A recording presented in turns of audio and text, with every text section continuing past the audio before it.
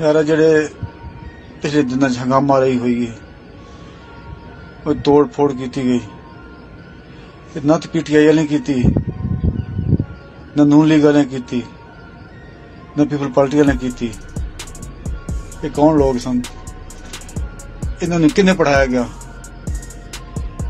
कि सिर्फ और सिर्फ पाकिस्तान आर्मी के खिलाफ जबान इस्तेमाल करनी है मजीद वीडियो दिखाने के साथ साथ आपको बताता चलूं नाजरीन कराम जैसा कि आप सब जानते हैं, कम से कम पीटीआई के सात हज़ार वर्कर को सिर्फ़ इसलिए गिरफ़्तार किया गया है कि उन्होंने फौजी तनसीबात पर हमला किया था। लेकिन ये सिर्फ़ और सिर्फ़ पीटीआई के खिलाफ प्रापोगंडा था। ये खुद ही हमला करने वाले थे। क्योंकि नाजरीन कराम अब सोशल मीडिया पर एक वीडियो वायरल हो रही है, जिसमें एक एयरफोर्स का नौजवान इस इम्पोर्टेड हुकूमत के तमाम राज को फाश कर रहा है। कि किस तरह इन्होंने अपने बंदे पीटीआई के एहतजाज में शामिल करके कोर कमांडर हाउस पर हमला कराया।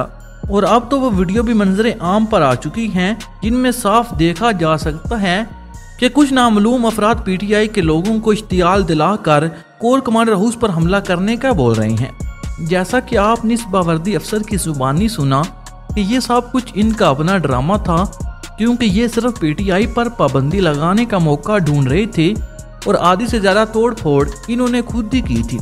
इनका सिर्फ़ एक ही मकसद था कि भुट्टो की तरह इमरान खान के खिलाफ भी आर्मी एक्ट नाफज करके इमरान खान को भी खड्डे लाइन लगाया जाए। लेकिन नजरीन कराम अल्लाह तला जिसकी हिफाजत फरमाए, उसका कोई बाल भी बाका नहीं कर सकता।